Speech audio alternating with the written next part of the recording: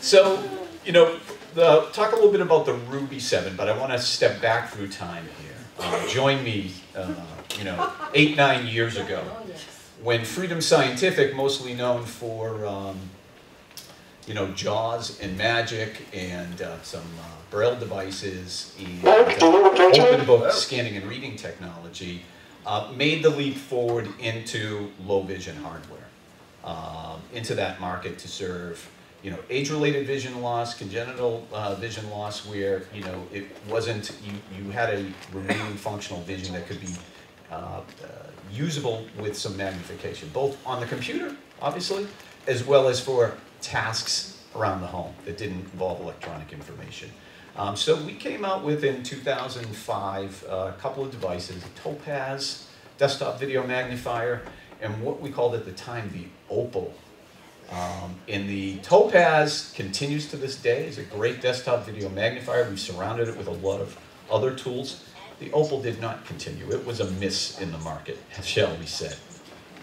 But we grouped a couple of years later after the Opal, and we came up with a device called the Ruby.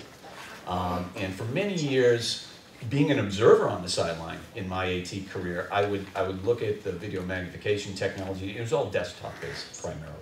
You didn't have mobile options really that much.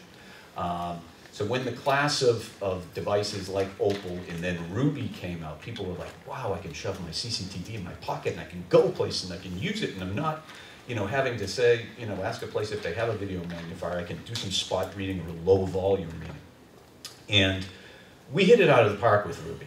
You know, um, it was the sweet spot of the technology giving you a great image, um, the way we presented it to the user being easy to use.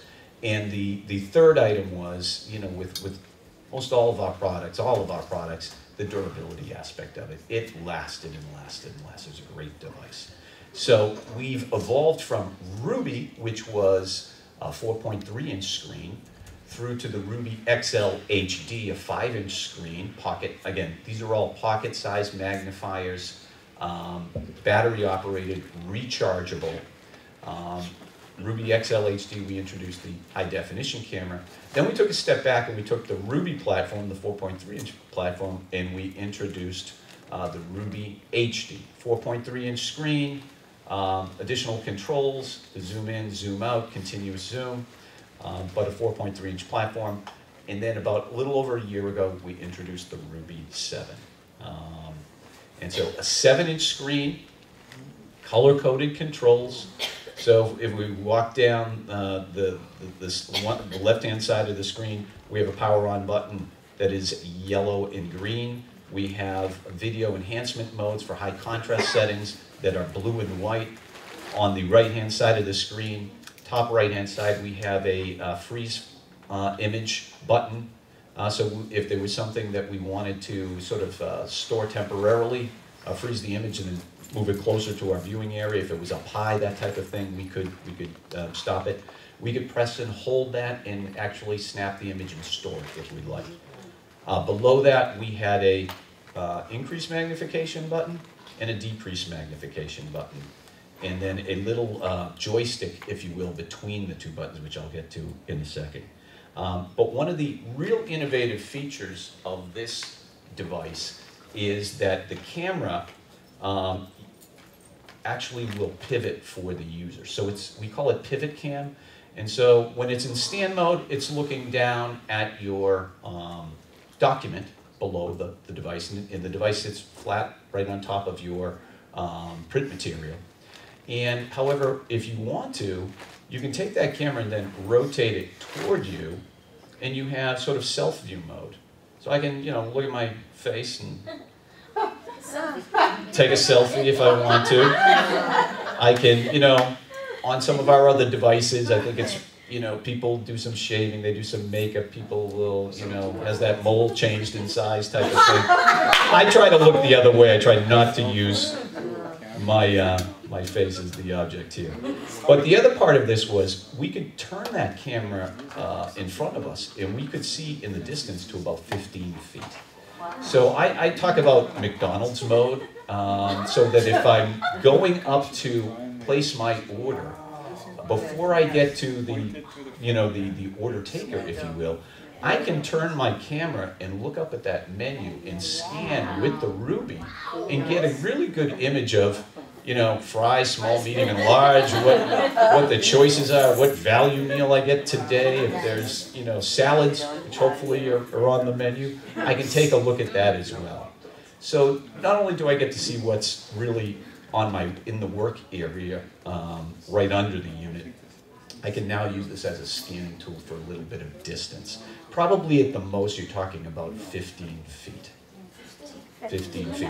So again, it's a battery-operated device, works uh, three hours on a charge, about an hour and a half to two hours to recharge the unit. Um, we have HDMI out, so I'm going to connect this to my monitor in a second so we can show the image on a larger monitor. And remember, the bigger you can make your field, uh, the less fatigue there is, the more technically, the more magnification options you have. Um, so it becomes, a, it goes from a low volume reading device to more of a high volume reading device as sort of like a mouse cam type of setup, where I'm moving the Ruby 7 over top of my print material, but I'm looking at it on the monitor that I've connected it to. Okay, um, we have a mini USB um, that can do the uh, charging, but we can also offload the images that we store. We can store up to 105 images, but we can offload it onto our computer. Technically, the Ruby will look like a thumb drive to our computer, and we'll just move over the image files for that. So I'm going to move over to the table now and just walk through some of the features. Okay, so can everybody hear me again? Yes. All right, so I have my Ruby on the table. Um, I have a little uh, data sheet here um, from Mike Parker, our channel partner from Visibility, has provided some of his catalogs that are in the back of the room, and we love Mike. Mike dispenses the Ruby, he dispenses Fusion, and he is a great partner that we have in New York and New Jersey, so kudos to Mike. Um, so as soon as I plugged in my monitor to the Ruby, I got an image on my monitor, which is a 24 inch monitor. And I'm going to use the down magnification button, and I'll take that down to the lowest setting, which the range on the Ruby on the 7 inch screen is from 2 to 24 times magnification. And so all I need to do is press my increase magnification button, and I can zoom all the way up. So I couldn't tell you what it is on the 24, but if it's 24 at the high end here, it's probably, you know, 30 plus times magnification on my 24 inch monitor. Okay? I can use, on the left-hand side, I was talking about the video enhancement modes or contrast options that I have. So you have five built in, but that you, you have 16 in total that you can choose from. So if I want to get into that mode, I can go uh, press the power button and I want to say my up arrow key and I can start cycling through the choices that I have. And there's a little checkbox on screen. And so I now set it to yellow and um, yellow and blue background, and that was not one of the selections. So I'm going to select that by pressing the, the, um, the down arrow on the video enhancement mode. So it checks that box, and now I've added that. And I can continue to go through the choices, and I can add, you know, green on black, black on green. Really anything you want in that 16 you can, you can add in, okay? Now let's get out of there for a second.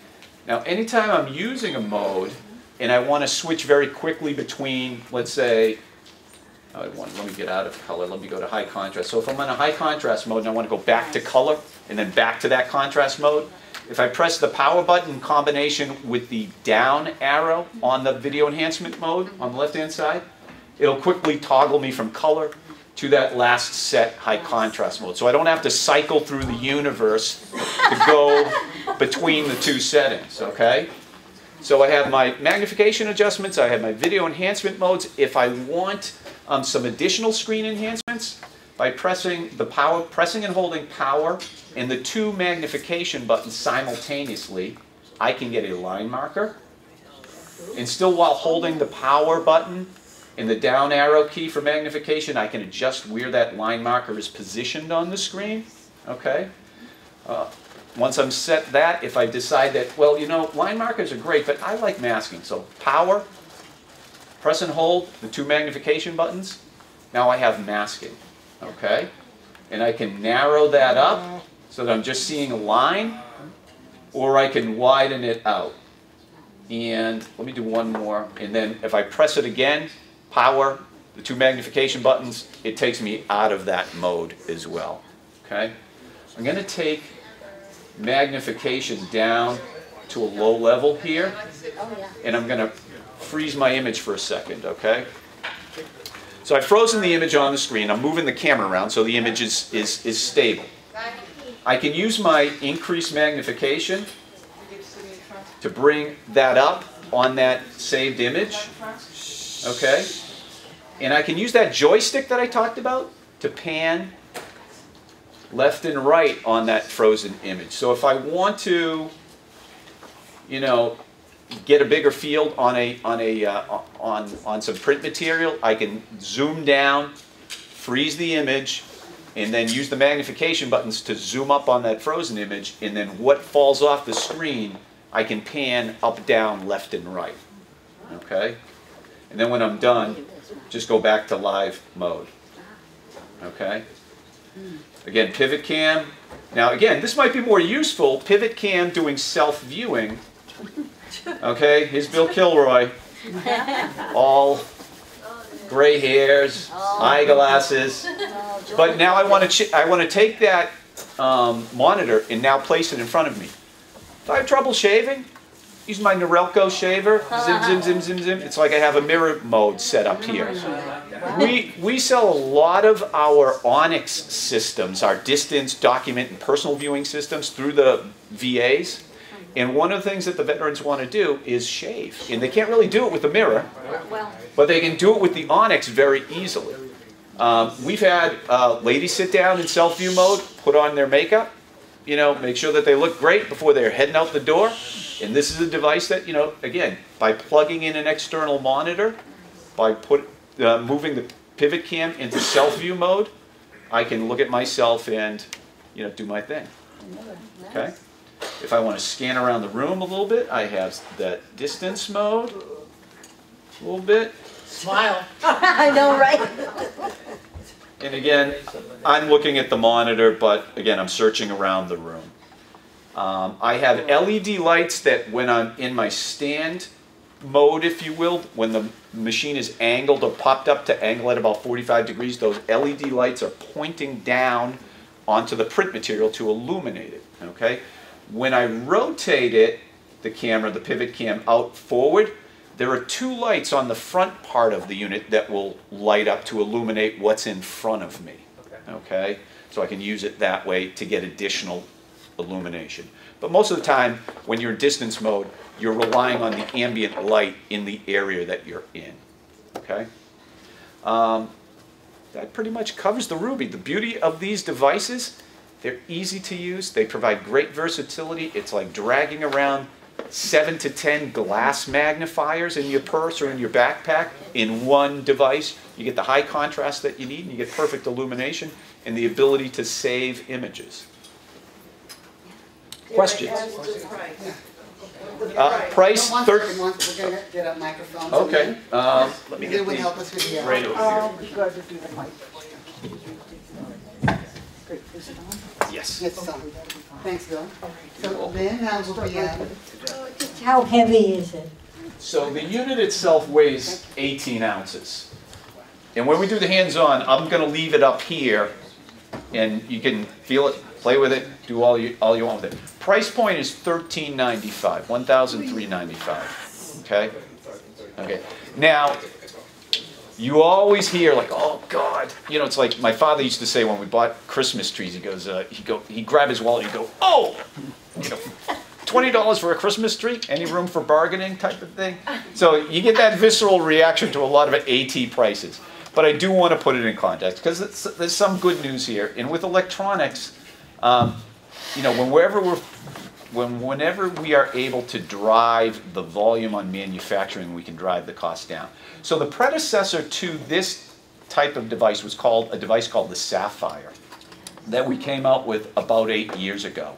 And it was a standard definition clamshell kind of design for magnification.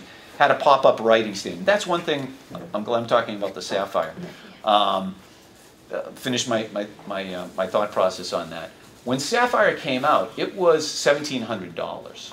Okay, so we were able to drive that cost down out of the Sapphire, but when we came out with the Ruby 7, the market has changed. You know, there's there are those economies of scale, and there's $400 effectively, three or $400 that you know has kind of been taken out of the pricing on this. Um, let's go back again for functional uh, use of this device, that pivot cam.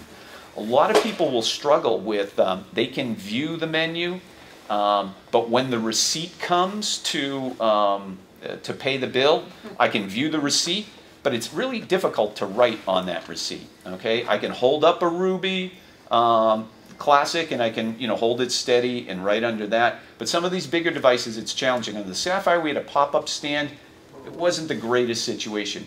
With the pivot cam, what I can do is I can sight my pen out where I want to be writing. And then I, then I can tilt the pivot cam, hold on. Let me do this again. Pivot cam to get onto that pen. Now it may be a couple of inches in front of, Right. there we go. Takes a second to focus up. It may be a couple of inches in front of the device itself, but now I can go ahead and write comfortably. I'm not trying to force my hand under a camera or pop up or, or, or move the camera up or rotate it around, excuse me, the device up or around. I can just find that spot and then write comfortably. And again, these devices, we're not going to fill out an application generally, um, but when the receipt comes, if I need to sign my name, if I need to initial something, I can do that very easily with something like this. We have a question here. Wait. Okay, we- question We have here? a question, make sure hand, well, I'll come around and get everybody, but we've got the mic. Two, two questions, two parts.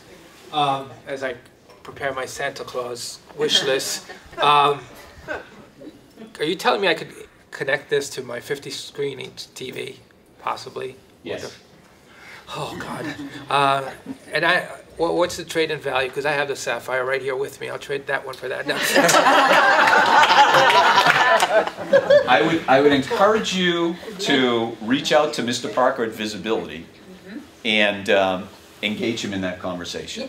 We don't have a formal corporate trade-in program for any of the early devices.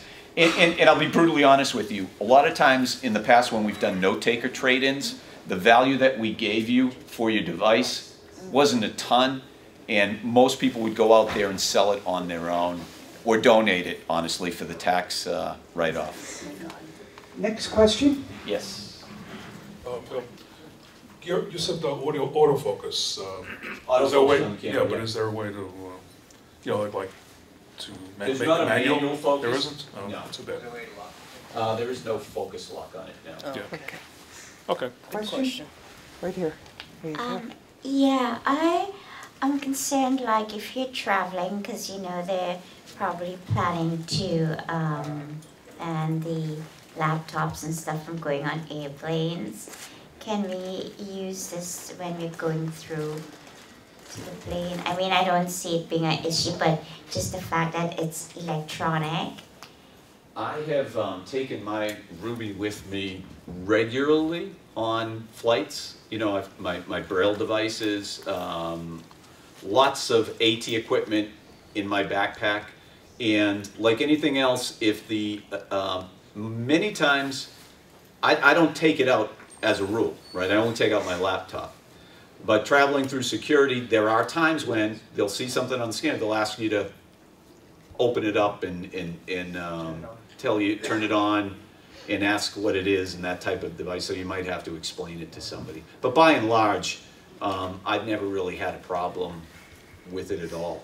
Um, usually they're questioning the braille display more than anything. Sure, Jeff. Next question, just a minute, please. Oh, I have to apologize ahead of time. I don't think you'll like this question so much, but at thirteen hundred dollars, I can buy the best smartphone in the world with a very high resolution camera. And even with my hundred dollar smartphone, I can wirelessly put it on my uh, fifty-five inch TV and why, you know, this is a standalone device Whereas my smartphone, I can do all these other things in addition to, you know, magnifying it and using it as a magnifier and being able to read text and all. So how do you compete with that? So, it's a very fair question. I welcome these questions all the time because it's, it's one that we get quite frequently, is how do you differentiate yourself from some of the sort of mainstream products that are out there that add accessibility a lot of times as an afterthought, right? So the, you know, whether it's our software or whether it's our hardware, they're designed from the ground up to be accessible tools for somebody with a vision impairment. That's why, you know, one of the reasons why the, the Ruby has done so well is not just because it magnifies, but because the controls are right there in front of you. It's an easy to use device, it's color coded, it's tactile. Um, it is, in a way, it's nice that it's just focused on magnifying because if I want to be reading and all of a sudden my phone rings, all of a sudden my magnifier kind of goes away. Um, but I get what you're saying. My biggest thing in terms of looking at tools for your life, for your occupation, for your independence is to come to events like this, learn about a wide variety of tools, try and get your hands on them, and make an informed decision. Um, there are people here from uh, uh, the ATCs, the Lighthouse Guild I saw walk in. Um, they do assessments all the time on a wide variety of tools for CBVH clients. And I'm a big fan of, uh, there used to be a clothing store that would say, uh, an educated uh, consumer is our best customer. I think I used it at our meeting. This, this, Sy Syms or something. So it's a fair question, and those guys are our competitors. Um, I wish I had their economies of scale, uh, because we live in a small niche world of uh, thousands, not millions of units. If we had those millions of units scale, I think you'd be down to a $50 Ruby. Next question, just So a be minute, please. advocates and spread the word to your friends. Just a minute, just a minute. Thank you, everybody. I'm just going to be a a dictator for a second because um, it is almost 2:30 and we want to make sure that uh, everybody gets a little chance for hands-on um, and, and then that Lynette is able to start pretty close to 3 o'clock. So I have one other announcement after this, but first I really would like to thank uh, Bill and Doug because it's been fabulous. And the other, the, the other announcement I wanted to make, and I promised Vern I would do it, um, is that um, in addition to the catalogs and all those other things we have on the table so you can find out about our classes. Um, we have a very cute um, basket in case anybody would like to help us, help support these demo center events, because we think they're really important, but of course they cost money. And so if any, and um, it makes a difference when people help. So we really appreciate that. If anybody would like to uh, contribute a little bit to this event and the next one and et cetera, et cetera, please feel free. We'll be so grateful. Thank you, everybody. Thank you all.